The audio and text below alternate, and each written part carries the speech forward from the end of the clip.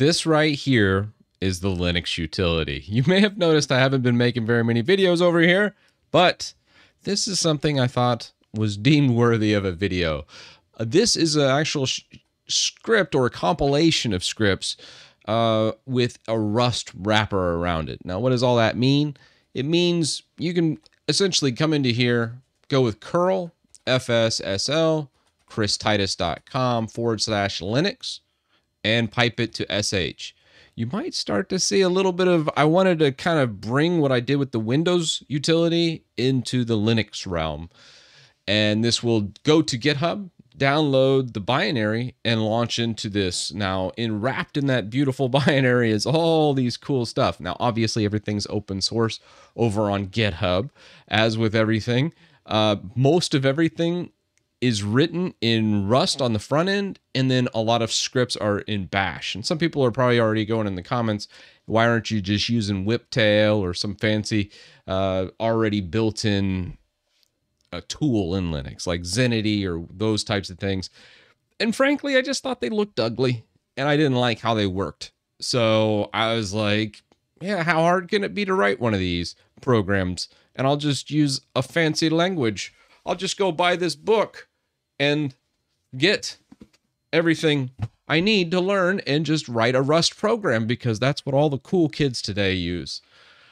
Ah. Uh, Oh, how naive I was. But I digress. This right here is what we ended up with, and it's starting to take shape. Mostly thanks to the open source realm. I'll get into the contributors and how all this was built because trust me, it wasn't just me. Now, all these are my customization. So the idea behind the toolbox is to launch it and then simply say, hey, I want to set up bash. I'm just going to remove my entire bash RC, right? So when we close out and we launch it, your your shell probably looks something like this. Rather ugly, right? So if we just curl that command, or you could just run it, we could install it directly on the system. I haven't built that quite in yet, but for now, we'll just do this. And let's say we want to, uh, you know what, grab my bash project, install it, and grab any dependencies I might be missing. All right, success. Great. So then we quit out, relaunch. There's all my customizations back as it was. So all these things in Linux that were taking so much time, I used to make 10, 15 minute videos like three times a week telling people how to do these things and you'd have to watch the whole video and go step by step. I want to get it to a point where new users to Linux, because I think there will be many, especially with some of the Microsoft shenanigans with recall. Don't worry, Windows Utility, I'm working on programming that out of Windows as well. And I haven't given up on Windows, even though I should. uh, I still love the challenge. I've added a bunch of different things to this, uh, and it depends on what system you're on as well. Already, I can see people saying, "Well, I don't use Arch. I'm a Debian user, or I'm in a Fedora user, or I use some derivative of those three typically." Uh, don't worry. If you're on like Fedora, let's just say, "Hey, let's." pretend we're on Fedora. We're just going to use DistroBox and enter Fedora. And then we launch into it again. then we come back. You'll notice, oh, that changed to Fedora. Well, oh, okay, RPM Fusion. That's a, that's a good Fedora only tweak. The idea behind all this is all those tweaks I was making when I was distro hopping and using different distributions over the years. There's a lot of things that are sometimes distro specific, sometimes not. And I wanted to include everything in this toolbox which is kind of cool. So let's launch back in one more time. And you'll notice when we go back to Arch Linux, oh, yeah. So we set up AUR helpers and we even have a little server set up here. What does that look like? Well, this is basically revitalizing Arch Titus, but doing it for someone that just wants a really solid Arch base, but they don't want to follow the install instructions. They just want to set up Arch in two minutes, 120 seconds this will do it in that time period.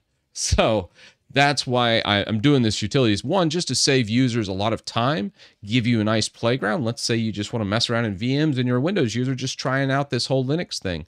The idea is to go through all these and change and set all these up to where if you want to just use a tiling window manager and you don't want to use like a big desktop environment like KDE and all that other stuff, I want to put everything, every script, everything I can think of, everything I use on a daily basis into here to where you're at your main page and you're like, hey, I want to change something with my monitor. Just type in monitor. Or, oh, you know what? I, am doing a game modification today. I want Diablo 2 uh, loot filters.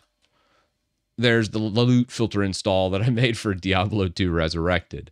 And, and all these like tweaks for Linux is, is kind of what I've been working on these last two months.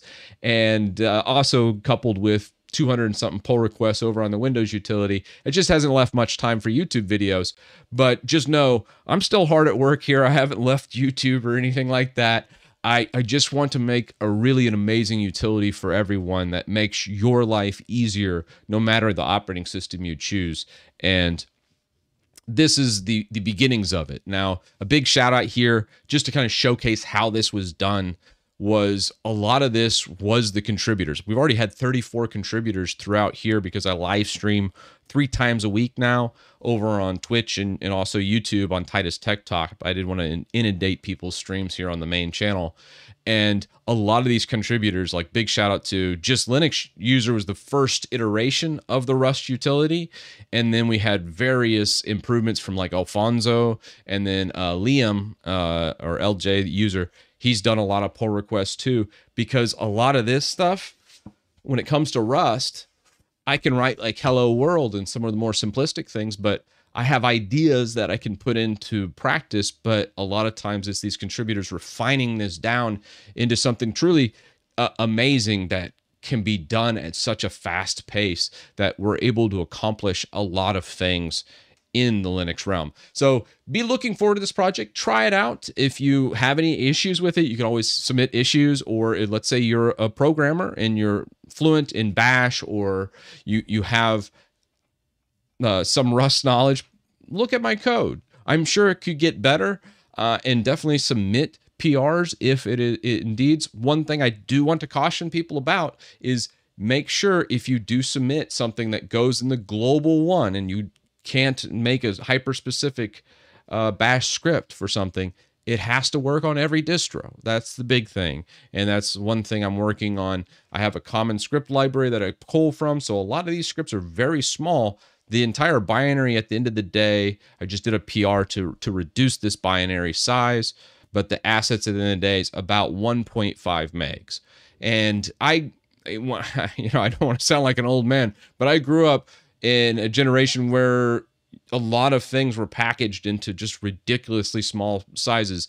This doesn't have to be a huge size. And the Linux utility is actually even smaller since it's PowerShell script that was reduced from 800 kilobytes to 600 kilobytes.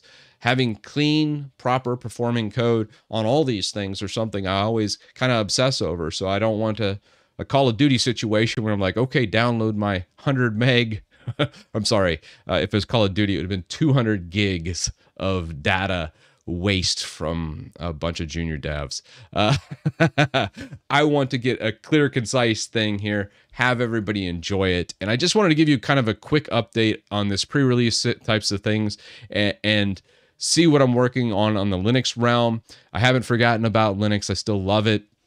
I'm designing a lot of things to just auto set up, make it one click of a button and just have it work.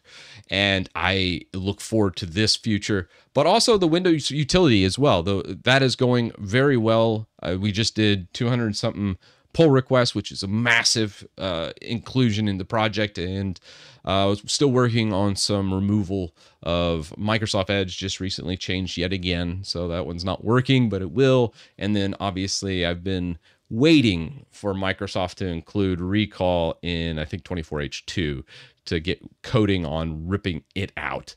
Ah, that's going to be maddening. Ugh. Makes me want to have a drink just thinking about it. All right. But with that said, I'll see you guys in the next one. Uh, I just wanted to update you on this next utility uh, update. I will do Windows, and you guys should get a good update because we just did a massive update on the Windows utility, and I look forward to showing that to you. Uh, let me know down in the comments what you would like to see with the Linux utility. Where are your pain points on Linux? Because I aim to fix all of those. And I know some people are already saying, hey, Titus, what about um, TTY? Or let's say you don't have a GUI. No worries. We have themes. This runs in the console as well. So if you are server based, don't worry about it. We got you covered. With that, I'll see you in the next one.